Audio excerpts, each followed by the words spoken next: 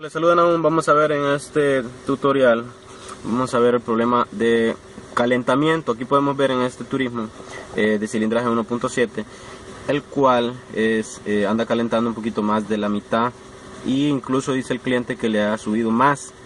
Entonces habría que ver si no le ha quemado eh, lo que es el empaque de culata o de cabeza de cilindros e incluso habría que revisar el, lo que es el block porque en estos vehículos el block es de aluminio y también se tuerce o, se, o, recibe torsión al sobrecalentarlo.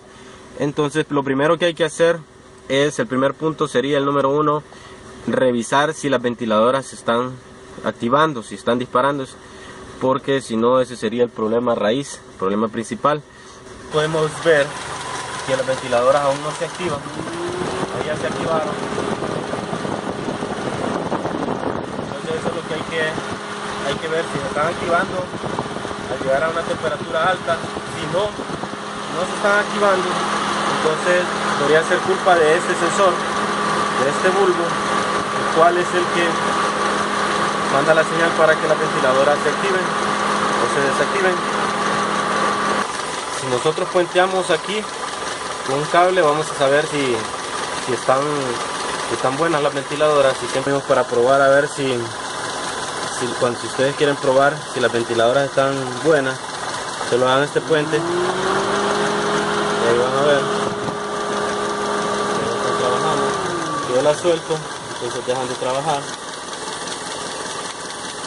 Ahí va a poder ahí se va a detener porque ahorita ahí ahora la voy a activar. Y lo que hay que probar es por qué se activan tan tarde. Puede ser responsable este sensor, puede ser la resistencia eh, que está dañada, entonces se activa demasiado tarde cuando ya la temperatura está muy arriba. Para saber si este sensor eh, quieren probar ustedes con otro, este es barato, este es como un switch prácticamente, entonces lo que pueden hacer es sacarlo yo lo he sacado con una con un cubo de una pulgada o 15 16 o 24 24 milímetros. Entonces eh, muchas veces se activa tarde puede ser que esté malo o esté sucio o incluso puede ser que tenga alguna fuga de agua. ¿por qué alguna fuga de agua? si no hay suficiente agua en el sistema entonces lo que va a pasar es que el eh, no se va a activar porque no le va a llegar el agua hasta aquí. Y recuerden que este se activa por el agua o sea por la temperatura. Él hace el pase de corriente y se activan las, lo que es las ventiladoras entonces lo que pueden hacer es cambiarlo y si aún así persiste el problema entonces puede ser una fuga de agua porque el problema es que estamos viendo que se está activando demasiado tarde o sea que está muy tardado para que se active, o sea que sube demasiado la temperatura y ahí es donde se activan las ventiladoras. Sabemos que está bien lo que es el, las ventiladoras también porque al puentearlo, eh, al puentearlo probamos varias cosas, como ser, las ventiladoras sí están trabajando, están buenas, no se quedan pegadas. El relay de las ventiladoras y el fusible está bien, que son los que van aquí. Entonces quiere decir que no es un problema de relay. Eh, y se está activando tarde porque este switch posiblemente o esté dañado, entonces pueden probar con otro, con otro nuevo, o no está llegando agua hasta aquí porque hay alguna fuga por el tapón del, del motor de aceite, tapón de aceite. Y si ustedes miran una mezcla como, como chocolate, en esto está bien. Si miran una mezcla como color crema, como color amarillenta o como color eh, como blanca o beige, entonces quiere decir que ya ahí sí ya está dañado totalmente el empaque de, culata o de o el empaque de, eh, de lo que es la cabeza de cilindros entonces aunque cambiemos el empaque siempre tenemos que reparar las fugas cualquier fuga si el incluso si el termostato estuviera malo también hay que, revisarlo entonces el segundo sería revisar fugas que no esté y unas mangueras que lleva acá atrás también hacerlas apretarlas así si están duras, quiere decir que están obstruidas. Ya me pasó en, uno de, los, de estos vehículos que estaba totalmente obstruida y no pasaba, no pasaba el agua. Entonces es necesario que revisemos que no estén obstruidas entonces y que no hayan fuga algunas fugas se dan cuando el vehículo calienta, otras se dan en frío, otras se dan cuando lo acelera. Entonces, para hallar fugas es bien, bien importante eh, es revisar, tener mucho ojo, mucha vista. Y el tercer punto sería eh, llevar a baquetear el radiador. Este sería el, muchas veces es el problema cuando está tapada las celdas. Ahí miren las celdas adentro internas. Cuando están tapadas es un problema también grave. Para que circule el agua correctamente por aquí, por las celdas, eh, de arriba hacia abajo. Y de esa manera estemos seguros que no es el radiador. Entonces ese sería el siguiente punto baqueteo de radiador para cuando caliente el vehículo.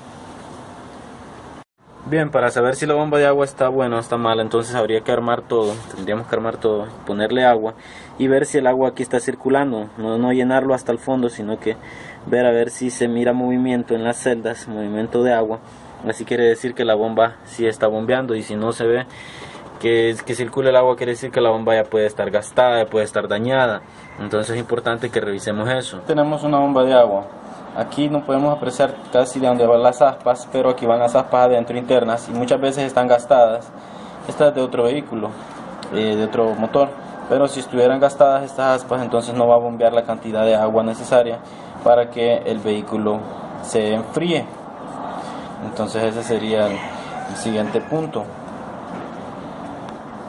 ver si la bomba de agua está trabajando o no está trabajando. Entonces esperamos a que el motor esté frío para que no vayamos a quemarnos. Y vamos a hacer eh, lo que pueden ver ahí de un bote de refresco de un bote de refresco de esos de plástico. Hacemos una camisa una camisa y la ponemos lo que es en la manguera y en el tubo. La, la sujetamos con cinta adhesiva cinta aislante negra o de cualquier color, no importa. Y ponemos acá si quieren pegamento de cola aquí entre las dos para que no bote agua. Lo importante ahí es que no nos bote agua y que podamos ver si la bomba de agua está trabajando y si el radiador incluso no estuviera tapado. Aquí vamos a saberlo. Entonces es necesario ponerle el agua al radiador y lo vamos a encender para ver si está trabajando o no la bomba porque así obviamente si no estuviera trabajando puede calentar el vehículo. Obviamente esta prueba se realiza sin termostato, se le quita el termostato para realizar esta prueba porque el termostato detiene el flujo. Y estamos viendo que no circula el agua. Vamos a ponerle más agua a ver si. Pero no se mira un flujo de agua. Vamos a acelerarlo un poco para ver tiene que estar frío el motor para que no vaya a haber presión.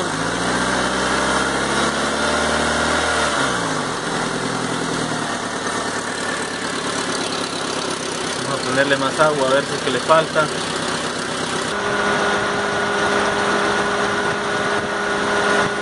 Podemos ver que sí está circulando el agua.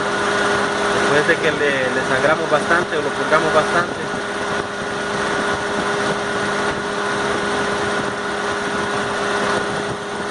Importante que procuremos ponerle agua ya con el motor encendido. Obviamente en frío, lo más frío que se pueda, y estarle echando, estarle poniendo agua, aplicando bastante para que elimine la cantidad de aire que se purgue, ya que algunos no traen tornillos para purga de aire, pero sí es importante que incluso la parte de adelante del, vehículo, la parte, frontal del vehículo estuviera un poquito más elevada, ahí ya pusimos esto nuevamente, la manguera, originalmente como va, este es el, invento que les decía, solamente hacen de un tubo esto y lo pueden probar a ver si la bomba de agua está trabajando y si el radiador también no está obstruido. Aquí quiero mostrarles algo que encontré. Eh, pueden ver agua aquí al fondo. Aquí al fondo pueden ver agua. Al final de... es poca la cantidad realmente que hay, pero en estos vehículos, en estos turismos, sí se desactiva. Eh, si se tiene alguna fuga pequeña de agua, el problema es que se desactiva lo que es el flujo de, la bomba de agua. Aquí podemos ver un, tornillo o un orificio del, del radiador, el cual anda así porque este vehículo, revisamos en el historial, este vehículo era era lo que puede decirse automático y se hizo mecánico. Se, se hizo la adaptación a mecánico. Entonces el problema es que aquí pueden ver incluso soldaduras en, lo que es en la bomba de, del embrague, ya que se adaptó el sistema, pero se les olvidó algo, que la caja automática se dañó, la transmisión automática se dañó, porque en otros videos yo he explicado que el enfriador de aceite de la transmisión automática comparte el espacio en el mismo radiador del coolant. Entonces, por ahí anda fugando porque anda dañado. Eh, entonces lo que vamos a hacer, lo que se puede hacer es cambiar completamente el radiador. O